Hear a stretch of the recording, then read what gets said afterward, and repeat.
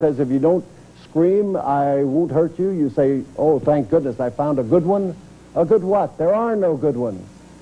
But you, while you still have the breath in your life uh, that can, that can attract attention, that can call help to your side, sure, there's no guarantee that if you scream that somebody's going to come and help you. But who is going to come and help you if you don't scream? Now, I'll give you eight reasons why you should scream. They were all nurses, and they all were in the city of Chicago, and they were all, they were all studying and living in the same uh, small apartment complex. One man, one man, Richard Speck, got into that apartment complex, and before he left, he had killed eight of those women.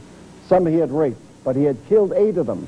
And one of them, by her wits, was able to roll under a bed and stay alive and tell the story. Now, Richard Speck was a man who was in the penitentiary in Dallas, in uh, Huntsville, Texas, who was re released, who went to Dallas, and on a dark Dallas street, he come up behind a man, he grabbed her by the neck, and he put a knife to her throat, and he said, if you scream, I'll kill you. She didn't believe him. She screamed. He dropped the knife, and he ran, and he was caught and put back into uh, jail. There were eight girls who did not, who did not scream, and they died.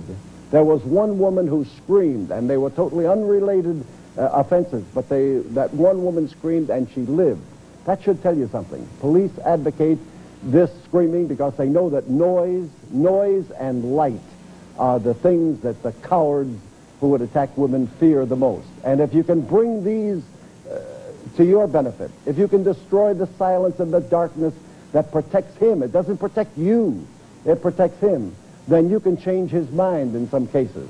But you've got to put up some kind of a fight when you're physically in danger and you face the possibility that it could be your last danger. You protect yourself, lady.